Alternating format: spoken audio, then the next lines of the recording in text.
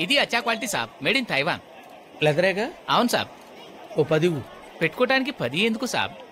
పెట్టుకోటానికి కాదు కొట్టుకోటానికి. ఐ, దెబ్బ తగిలితే నరాలు జుబ్బుమనాలి నోట్లో నవ్వుండాలి. రక్తం రావాలి రహస్యంగా ఉండాలి. దానికి ఇంత కాస్ట్లీ బెల్ట్ అవసరమా సాబ్? చేసిన తప్పు కూడా కాస్ట్లీ. వాడిని చూడు. బాగున్నాయా? సూపర్గా ఉన్నాయి. ఆడేమో బీటేస్తాడు నేనేమో మాటేస్తాను మా అన్నయ్యకి తెలిస్తే కాటేస్తాడు. బాగున్నాయా? నీకున్న అందానికి ఏదైనా బాగుంటుంది? అని కొనేసుకో. ఏ? నీకేం తక్కువ? కొంచెం గడ్డం పెంచితే గ్యాంగ్ లీడర్లో చిరంజీవిలా ఉంటావు కళ్ళు కనిపించట్లా? దిగో దిగిపో.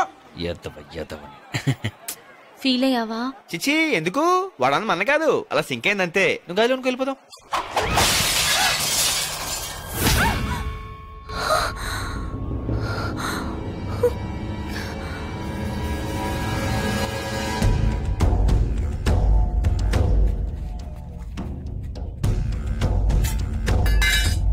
బెజవాడ వీళ్ళ అన్నయ్య మేము సెటిల్ చేసుకోవాల్సిన విషయాలు చాలా ఉన్నాయి.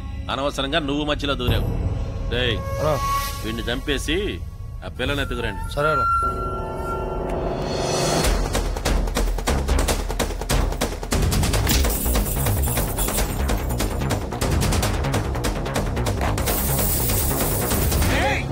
చెల్లెల్ని బెజవాడతో బ్యాంకుల బజార్కి పంపించే? నువ్వేం బేగతా ఉంటావు ఇంట్లో? రే రే రే నా చెల్లికి ఏమైనా అయిందో? నీ చెల్లెలకి ఏం కాదు పెళ్ళి అయింది అంతే. దానికోసం వెతుకులాడ పడలే ఆ బ్యాంకుల బజార్కి పోయే బెజవాడోడి బాడీ కోసం వెతుకులాడు. అవును? అసలు మనం ఎందుకు పరిగెడుతున్నాం? వాళ్ళేమైనా చేస్తారని? ఎందుకు? మనమే చేస్తే పోలా?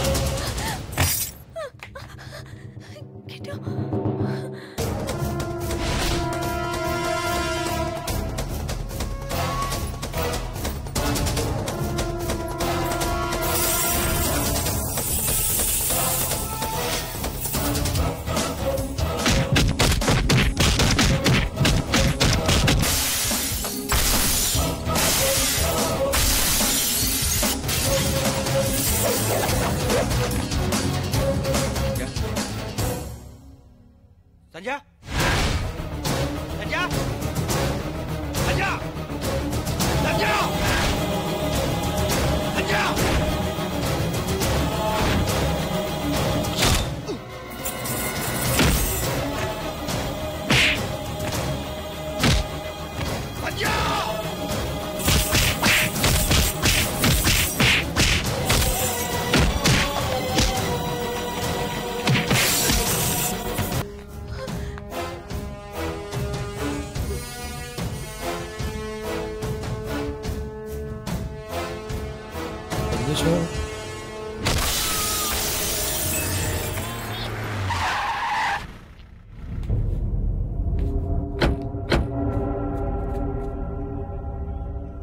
అవే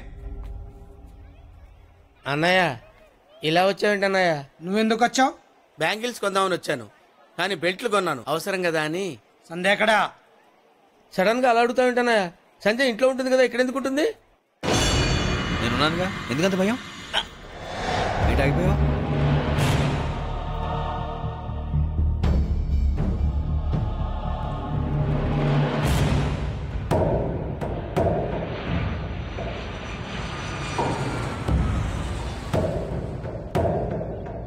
ఏం కనిపిస్తున్నాయి నీకు? ఇళ్ళు. ఆ ఇళ్ళ మధ్యలోనే శ్మశానాలు సమాధులు కూడా ఉంటాయి. ఒక డబ్బున్న అమ్మాయిని లవ్ చేస్తే ఈజీగా లైఫ్ లీడ్ చేయొచ్చని అనుకుంటే ఇళ్ళలో ఉన్నవాళ్ళు ఆ సమాధిలోకి వెళ్ళిపోతారు. ఎవడు ఏం చేసినా ఎలా బతికినా. చివరకు మిగిలిది ఆరు అడుగులు పొడుగు మూడు అడుగులు వెడల్పు సమాధి అంతే. అందులోకి ఎంత లేట్గా వెళ్తే అంత మంచిది. లేట్గా వెళ్ళామా ముందేలామా అనేది పక్కన పెడితే మీరు చెప్పిన చాలా ఓల్డ్ ఫిలాసఫీ. మనుషులు బట్టి సమాధి సైజ్ మారిపోద్ది. ఎన్టీఆర్ సమాధి ఆరు ఎకరాల్లో ఉంది. ఇందిరాగాంధీ సమాధి అరవై ఎకరాల్లో ఉంది. ఎదవో సోదాపి విషయం ఏమిటో చెప్పండి. నేను ఎవరితో ఇలాగే మాడతాను నువ్వే మీరు చెప్పండి. తిక్కగా మాట్లాడినా తింగర్గా మాట్లాడినా. నీ మీద ఇక్కడ సాఫ్ట్ కార్నర్ ఉంది. అందుకే మాట్లాడుతున్నా. నువ్వు కొట్టింది ఎవరి మనుషులనో తెలుసా? తెలీదు. జక్కా మనుషుల్ని. సడన్గా ఆడాడు స్నేహితులు తప్ప శత్రువులు లేని నాకు మొట్టమొదటి శత్రువు వాడు.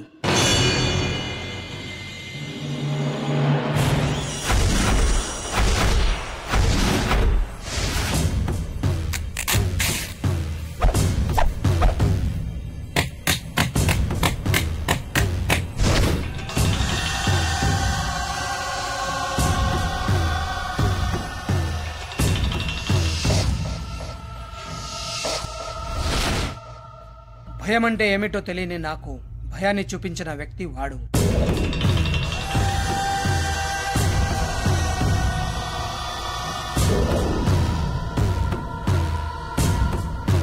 అసలు ఏం జరిగిందండి?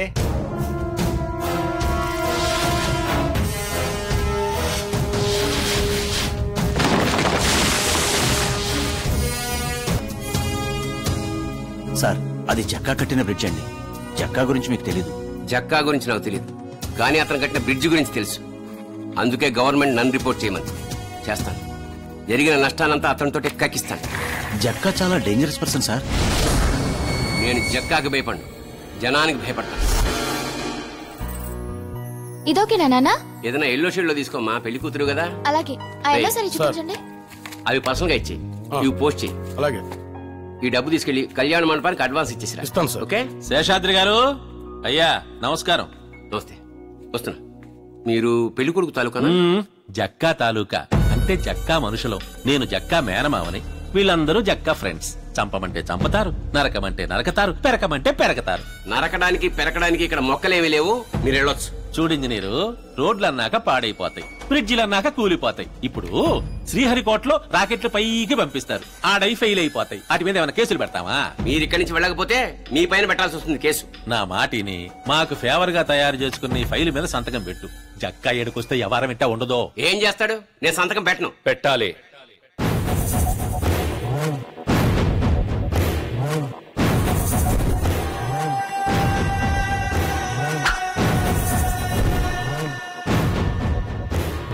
నా పేరు జంగ. పెద్ద ఎదవని. మా మామయ్య? ఇంకా పెద్ద బోకు ఒట్టయ్య నిజమా? ఈ కారుందా? సొంత బిల్డింగ్ ఉందా? ఏమీ లేనివాడివి అన్ని ఉన్నవాడితో పెట్టుకుంటే ఉండే ప్రాణాలు కూడా ఉండవు. సంతకం పెట్టు. నీకు ఇన్ఫ్లుయెన్స్ ఉంటే కోర్టులో తెలుసుకో. మా ఇంట్లో కాదు.